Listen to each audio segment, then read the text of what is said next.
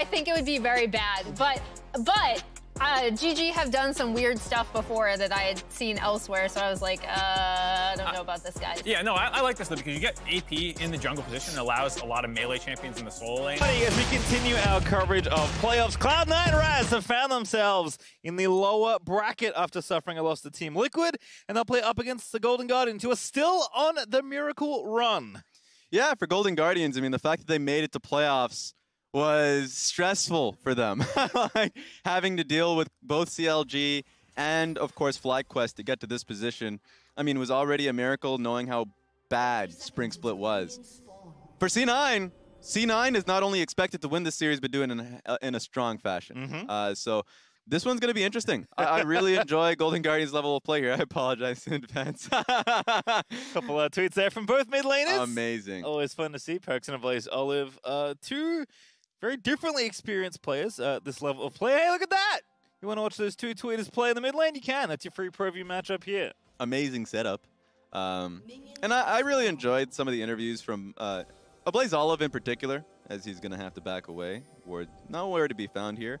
Um, just talking about how he fully expected at least Spring Split to be a period in which he was learning, growing, won't look as good, of course, but he actually really performed uh, really well in Summer Split and would be the strongest player on this team, I'd say for sure. You can make the case for Licorice when he came in, but Blaze Olive, you know, consistent throughout the split, had a fine spring split, and ended up getting second place, if I'm not uh, incorrect there, in terms of the Rookie of the Year awards. So it's going to be a fun one.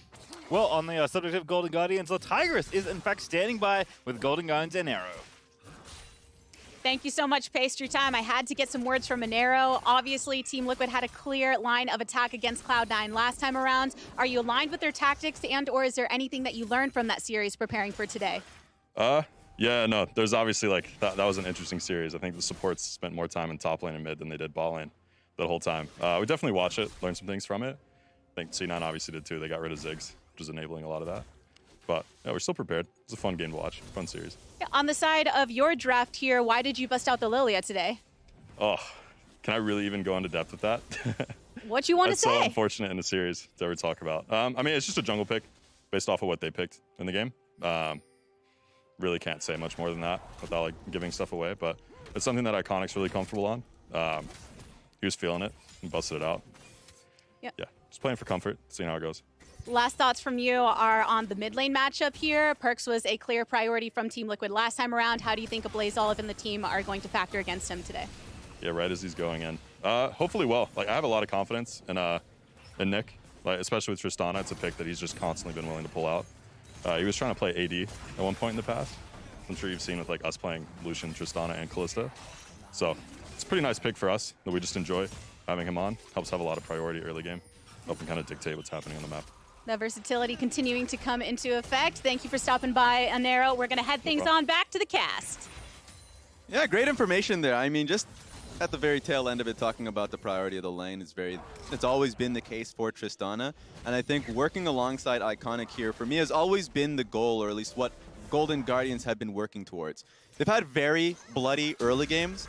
The champion kills per minute is actually quite high for this team and a lot of it's been based around getting a Blaze Olive out of lane and trying to set up for like well-timed dives. They're going straight for Perkz now. Oh, yeah, don't think connected. Not that it would matter, of course. Lilia not six, so can't put Perkz to sleep, but Perkz to proc the phase rush and hold on to his flash. A Blaze Olive already has TP'd back into this mid lane, and Perkz is under a lot of threat. You have no mana. You have to get out of this lane very quickly as Ryze. Yeah, it's not too bad of a situation because of what you just mentioned. He's holding on to the TP. So that was a call purchase that Blaze Olive was able to get for himself. Meanwhile, I mean, sure, he's going to be coming back with tier boots. I think both of them are just going to be fine. He's going to be able to TP back to and, and pick up this full wave. Uh, my question is what is Blaze Olive going to use with this pressure? On this timer, I'm expecting a ward to be placed around Raptors. Let's see what it ends up being. Okay, just trying to get an idea of uh, where the enemy jungler is and just getting if there are any wards in Tribush, there are none. So that's good information for Golden Guardians. Yeah, also did put that ward down that you mentioned, kind of has it in the intersection right uh, outside the Raptor pit, so we'll have good vision of any roams to the area or the jungler being down there. Uh, Iconic is also on that side of the map, so if there was a desire to set up for bottom lane, there is maybe the opportunity now. But Blaber gonna move down, sweep out anything, make sure there's no forward vision for Golden Guardians. And looks like Golden Guardians, with a little bit of info that Ablazeolive has given them, gonna go ahead and push their wave in and take their reset. So it is kind of hard to see the big picture, but actually a nice little bit of interplay there from Golden Guardians. Yeah, and I'm expecting now that it's hit five minutes, a ward to be placed on Rift Herald. Both teams should kind of center their focus around that. That's always been the case whenever First Dragon is something that both teams don't see immediate uh, uh, uh benefit from. So in this case, it's going to be Cloud. So I expect uh, Golden Guardians to be the ones that hit it first. Um, it's been the case that top lane's been getting pushed. Same thing's been happening around Ablazeolive. So they should be the one on objective first, getting control wards down on that one. Chime is here, though Let's see who end a, a fight really shouldn't start here. Blaber's here on the same timer as Iconic was actually topside for Krugs. Yeah, Blaze Olive should know that uh, this is not something he wants to do. Vulcan obviously showing in the lane, so definitely not going there now. Iconic level 5. Gonna force the Abyssal Dive away there from Fudge but Iconic not feeling like he has enough info to confidently take that ward out that he did find with the sweeper, and that's going to make Cloud9 move down towards this dragon. Yeah, I mean, he showed himself topside too, so the ward, they probably didn't expect it to be there. When he ended up showing himself very easy for Cloud9 to just go on the first dragon, and that's going to be dragon stacking. If we were to look about the full split here for both teams, Golden Guardians have actually been far more objective focused than Cloud9. They've had a higher percentage on both Dragon and Rift Herald. They've just been the team that have always been on top of it. I think the major concern has just been whether or not the fights have been there for Golden Guardians. In fact, the last time both teams faced off, it was Golden Guardians being in a positive position, going for Baron, and then losing as you would expect off of, of, the fight that preceded that. So I think Golden Guardians just want to be able to team fight better, um, at least in this series. All right, well, kind of interesting setup in general for this first game. Hook, very nice attempt there for Vulcan, but doesn't get it. Iconic down towards this bottom side again, but he's going to clear out that vision. So again, Cloud9 do know. Uh, this is definitely comfort for Golden Guardians in general. Obviously, Inero didn't want to give anything away, yep. but Lilia's a champion that Iconic is definitely very comfortable and We've seen that with his history in the past when he first entered the LCS. The other thing is, for me, that's interesting is Cloud9. This is an extremely safe first game draft. There isn't anything super aggressive. It's lots of stability, lots of good mid to late game, lots of good team fighting. Like, they're not interested in taking chances or risks against a team like Golden Guardians. Yeah, and there's some great playmaking tools built in, not just from, you know, the Rune Prison or at least the ultimate that Perkz has that we've seen. Uh, in the best of hands, like Xiaohu, can really make games just based off of great alt timings around Baron. Uh, or, I love this combo of Trundle Thresh. Just basically throw down the pillar and you you force a fat flash off the enemy uh, just because that Q that's coming in from Thresh is almost guaranteed. So that's something to look out for for Cloud9. Uh, meanwhile, Golden Guardians here uh, just have great range based off Tristana and Aphelios. So front to back, they're definitely going to be looking at that. I'll be favoring Golden Guardians from that perspective. Lilia, you're right, is an interesting one. Uh, received changes there where her Q cooldown did get increased, but also just the, the blatant AP that she gets on her Q is actually increased as well. So you are incentivized of going straight AP into your build. Liandry's is something that I'm expecting here for Iconic. And he has Phase Rush. So dealing with the melee member, specifically Trundle, is actually going to be favorable to him. So we'll see how it ends up going. There is a case to be said that if you just get slowed off pillar and picked off with Thresh Hook, you're just doomed. So that should be an early Zhonya's for him. All right, well, this is the, the, kind of the first major fight here as both teams are jostling for this Rift Herald. Iconic's going to start a great hook there. Roompers are going to kick it off, and that's first blood. Blaze Olive dies in the air to Vulcan. and Iconic's like, anyways, I guess I'm leaving this Rift Herald.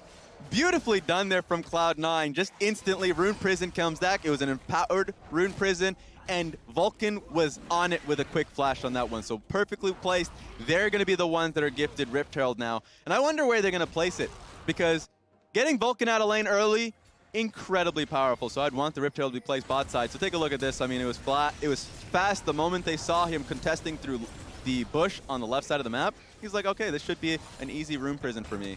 It's going to cost Vulcan to flash, but I don't think any play is going to be made in any time soon. Yeah, that flash not only gets first blood goal, but gets C9 the Herald as well, which was what Golden Guardians we're looking for alongside Cloud9. So very effective use there of the CC, combining and Vulcan getting out of that lane nice and early to try and affect the map. And again, this is kind of like what I expect from Cloud9. Vulcan has been very consistent, right? Fudge has as well, but Yeah. he's swapped to a tank, Perkz his own Ryze, and Vulcan's got the playmaker. They first picked this Thresh. Like, to me, this is putting power in the consistent hands for Cloud9 and decreasing the volatility in the game. Yeah, I mean, decreasing it with a question mark because one thing I picked up from an Arrow's interview that I agreed with, I mean, when Cloud9 went up against Team Liquid, it was essentially the supports just leaving lane, saying, all right, bro, I'm gone.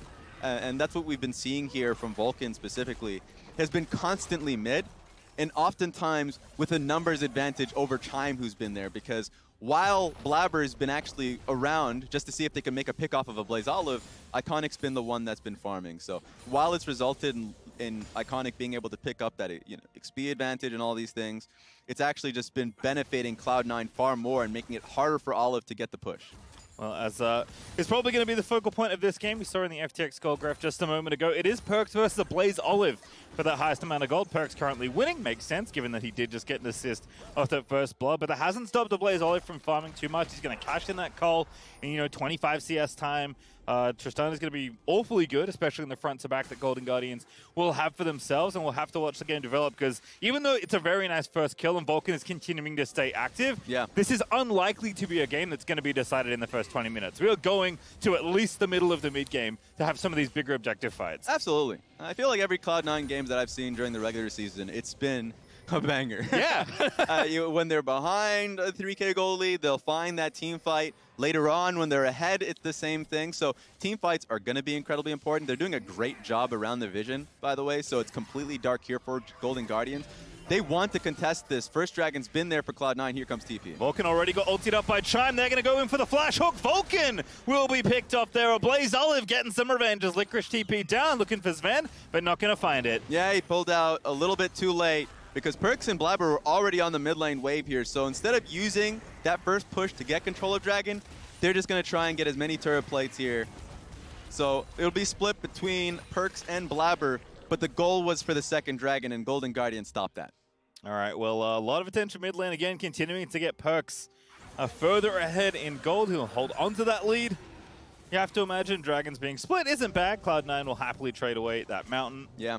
And uh, Infernal Soul is going to be the one that will be important for both teams. But again, kind of the theme of this game is it is not going to be super quick, right? The teams are going to be playing for that soul. True. This has definitely been different from the higher champion kills per minute that we've seen in the regular season versus now where it's definitely going to be a lot more measured. That's just playoff play. You know, sometimes you get bangers. uh, you know, woke up in the morning watching the LEC matchup and you get like crazy games. But here specifically, when you're in a knockout situation, you do not want those uh, uh, mistakes really costing you. Individual mistakes, more importantly. Uh, so in this case, Cloud9 made the call they could have gotten, should have gotten Second Dragon. One mistake was made, and now Golden Guardians are still in it. It's uh, FTX Gold Advantage 600 or so right now for Cloud9. Uh, so not too big, but again, game trending in the right direction, especially for Perkz. He's got the blue buff right now, feeling awfully good about his 1v1 with those turret plates being worn away. He's got a less than a minute to finish them off. Probably not going to get them, but hey, still got the gold lead off the Herald. Yeah, major items are coming through right now. Shieldbow being picked up from Stixxay, from Licorice, it was uh, Goredrinker, and, and Anathemas from Fudge. So these, it's going to definitely embolden these teams to want to take more fights. The next Dragon you would imagine would be the case. It is an Infernal, uh, uh, uh, you know, map and Soul. So it's going to center a lot of the teams away from Baron and towards that objective. And also increases the creativity with the walls that it ended up breaking. So I think that would favor Golden Guardians to a certain degree, knowing that Renekton now has more freedom for flanks. Uh, as I say that, forget about Perkz. As a player, Yep. his career has been being a playmaker. Try and get Oh, caught this out here. Such a good setup there. Pillar into Realm Warp, and the Everfrost is done, so Perkz makes the roam look oh so easy. As I say, playmaker Perkz, playoff Perkz. He promised it on Twitter, and he also just made it happen. There's way too much vision there for Cloud9 for Chime to be out there alone. So now it's going to be impossible for Stixxay to take the bottom lane wave, knowing that he's not going to have the support. Makes it C9 is now emboldened to take full vision of the enemy blue side jungle. Yep, Vulcan just plopping wards into the brushes. Plenty of vision there as Golden Guardians are going to have to fend off the rest of Cloud9. So coming into this series, uh, Zven led AD carries 9.8 CS per minute. That's pretty good. Um, basically perfect CSing as a Blaze Olive gets hooked. Oh, that's such a good chain CC. But the rest of Golden Guardians there, no one can follow up though, and Perkz barely takes any damage in trade. Yeah, Vulcan, That's a Vulcan. 2v4. insane, right? And it started with Vulcan's hook, so it's congrats to him basically stymieing that play from Golden Guardians. Blaber's got to have to walk out here, but my point being, the entire movement from Cloud9, the vision control that they have bot side, uh, two waves where Stixxay literally had to lose it because of either uh, Chime getting picked off or uh, Liquor, uh, Iconic showing on top side of the map. It's making it so there is a huge goal difference now in the bot lane alone. Perkz is leading the pack, of course, 6,200. So the carries from Cloud9 are, are thriving. And I think for me, like one of the stock things, especially compared to at least the regular season, is like how many games have we seen Fudge go off in a different matchup? Yeah. And how many times have we gone top in the first 15 minutes of this game? Like once? yeah. I think that was the second time in 15 minutes we've seen the top lane. I mean, nothing's happening, right? It's Tahm Kench weak side farming up a storm. Licorice getting a lead. That's a-okay, but Golden Guardians trying to wrestle control back at the top half of the map, and Cloud9 are already ready. Blaber there with the pillar. Iconic, nowhere to run. Gonna have to flash out of the way. Perfect pillow placement.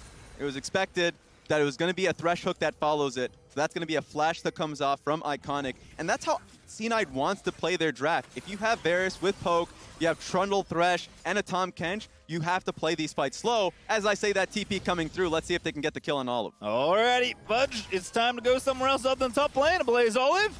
That's a long Get the lane. reset. Great buster shot in the air there. And that's, I was going to say is going to be okay. I lied. Good flash. He's going to get out with the help of the Blast Cone, but C9 make it very expensive for a Blaze Olive. Yep. Uh, Blaze Olive all the way down bot lane alone in a long lane. I think Cloud9 recognized that the rest of the squad, including Iconic, was topside. They made the play happen. Great job there. That will mean that TP is down, so pretty sure they're going to have to keep Fudge down there just for the Dragon pickup.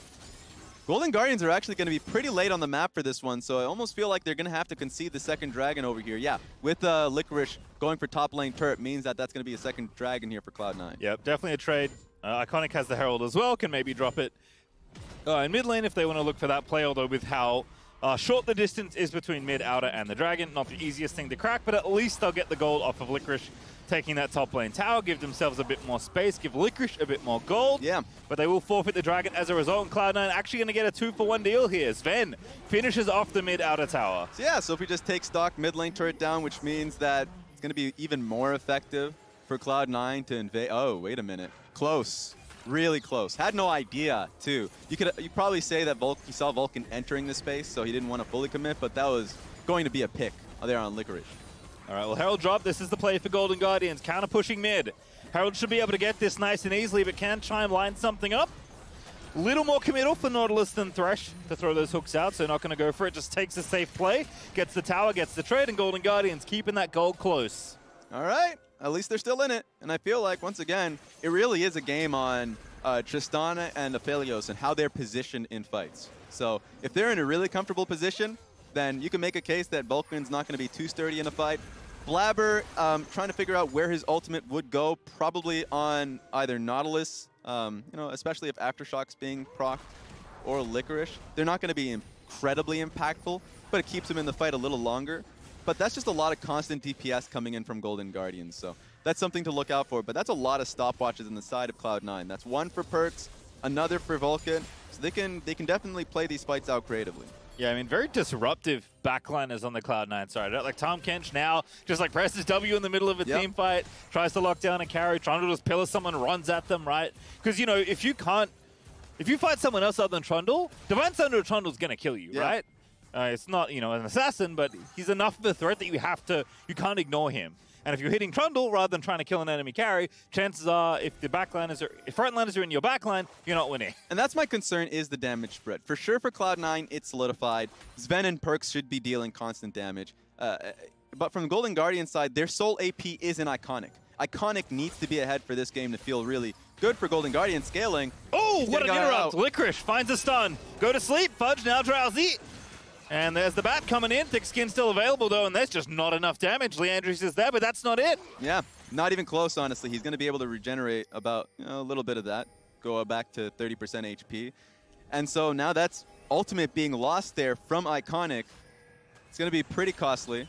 So they're not really going to be able to defend the wards around mid, and it's going to be still Cloud9 holding control here. Where is everyone else? Uh, looks like bottom side right now was Perkz. That makes sense. He's going to be pretty permanent side laner in this game. In fact, just Everfrost the wave. Yeah. Wants to get it pushed out ASAP. I imagine a Blazov, yep, he is the one to catch it. So there is a push and pull of the side laners here. But as we've kind of seen already, it is significantly less safe for a Blaze Olive to be alone in a long lane than it is for Perkz. Yeah, and that's for me what it comes down to is for Perkz, he has a lot more freedom on side lane, especially if he's in a 2v1 position. I mean, he has uh, phase rush, so that's going to help him out. He has ultimate as well if he can play that out creatively and all these things that are going to make him feel a little bit more safer. Where we saw when he was, uh, a Blaze Olive was getting double team, sure, he had his W, uh, so he can jump out, but he needed to blow flash. So those are the kind of distinctions we got to make on side lane. And then, of course, like talking about the damage portion of it, before the skirmish happened, Iconic just needs to be ahead, and he's under constant threat of thr uh, Trundle Pillar. Speaking of that... Oh, that pillar is so sick. Iconic, though, looking to make the play, finds a two-man sleep. And ulti out there, Chime moves in, the damage is good with the depth charge, but now going golden for two. Fudge there, does devour, there is a Blaze Olive found the backline, Iconic. Is going to fall down, a Blaze Olive just can't do the damage, now Tahm Kench pop it into the backline, but the AD carries from Golden Guardians are still alive, but it is just not enough. Realm Warp forward, Perkz under the towers, Ven takes out Stixxay, a Blaze Olive, and that's going to be a bot lane ace in 21 minutes! All right, Cloud9 is empowered. They're hearing the criticisms, and they just slapped Golden Guardians around.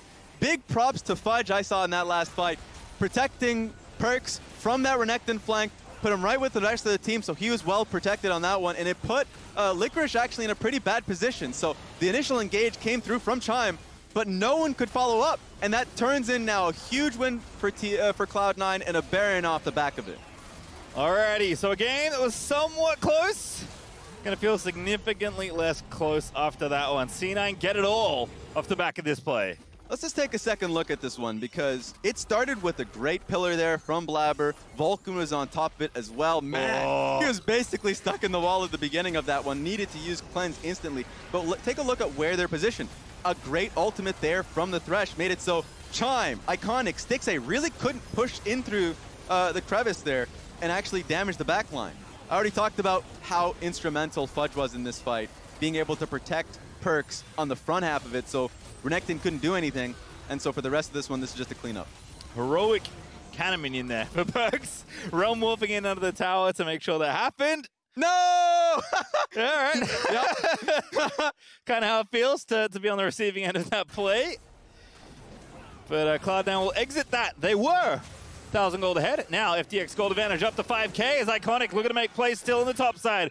1v3 for Old Fudgy Long on the top lane. What a flash! Gets his way out of there. yeah, and they didn't want to follow up on that, and partly because Licorice and Iconic just don't have flashes, so even if they wanted to, definitely can't follow up on that. So in the end of the day, that's just third dragon being picked up from Cloud9, and Fudge ducks away from another uh, gank topside. So right now, Cloud9 has such an instrumental lead, it's insane. Yeah, it's only getting worse, unfortunately, for Golden Guardians. It's going to be a very tough siege to try and stop. 6A busy in the mid lane has to deal with that. And they've got two carries, you know, that's decent wave clear, but you cannot get to the wave safely against this team. And Cloud9 is going to bust through the bottom side, take out that inhib almost. Depth charge out. TP coming through. Now the counter punch there, Licorice. Gonna get shredded to bits. Perkz takes him out. Ulti out of Stixxay does barely any splash damage as Fudge. He's just roaring through the front side. Vulcan again can't miss with the hooks. It's a blaze off, get his way out of there with the rocket jump. But they lose the inhib. Zven almost finds a snipe on the back end of it. And Cloud9 might just end the game on this Baron push. Oh my god, Licorice got his slice and dice canceled by the pillar. This is the best Trundle play I've seen in a while. I mean, like... at the end of the- Unironically, yes. Yes, Blaber and Vulcan have just been on point this game. And they're not going to uh, go too far here. Their their tempo's a little uh, rough, but I mean, they got inhib bot side. They're going to base. Next fight almost feels like it has to be around Dragon, and that's three minutes away. This is a tough one here from Golden Guardians, and I, you know, it feels so impossible for them to take this win, even if they even like get a great team fight, because of how chunky this Tahm Kench is. He is on two items and is just straight armor from the rest of it. Uh, so, you know, a Blaze Olive and Stixxay, the concern that we had about them not having really much damage spread is true. They just don't, they cannot uh, pierce through the Kench. And uh, typically, when you cannot kill the Tahm Kench, That is a problem. That is an issue. That is a very big problem. One of the reasons Tahm Kench just felt so powerful is that when he gets ahead, just kind of unkillable. Realm Warp here for Perkz, very cute. Licorice the target, no flash. Can slice and dice away. Abyssal Dive, gonna miss. Licorice is like, please, somebody help me. Ah, well. Wolves uh, gonna block up Perkz a little bit there, and Licorice does indeed get out. But the damage has been done off the back of that Red Bull Baron. Next wave is coming in. I mean, they, and they know that Stixxay's topside here, so they could commit for this mid lane turret if they wanted to. Good base here from Stixxay. Knows he, he needs to be here on time as this wave comes through, or a dive is inevitable. Here we go. Chime actually getting slowed there. It's three items done. That's a long TP from Licorice. That's a very long TP. He's going to play the long con, but perhaps he has fooled himself. Pops Dominus. The flank is on now, but Chime going to find Vulcan. Blaber going to get knocked up as well, but Renekton is getting zoned off. The rest of his team by, by Perkz, and now Chime's dead. Blaber with the pillar again is able to take him out. Licorice just could not find the flank. Stixxay going to die in the front line. Blazel trying to do what he can, but Vulcan is just going to slay everyone as Blaber finds a double now. Iconic will get the sleep, but he does not get the Yoop, and everybody lives on the Cloud9 side. As Licorice has just left in the middle of mid lane wondering what happened. And Cloud9, they're going to take this Nexus here in game number one. This was a fast one. 25 minute win. Another kill there. Just added to the books. 13 to 1. What a monstrous win there from Cloud9. Uh, Licorice tried, but he was caught in multiple CCTV cameras. I mean, you know what? Security system's pretty good when you're that far ahead in the game.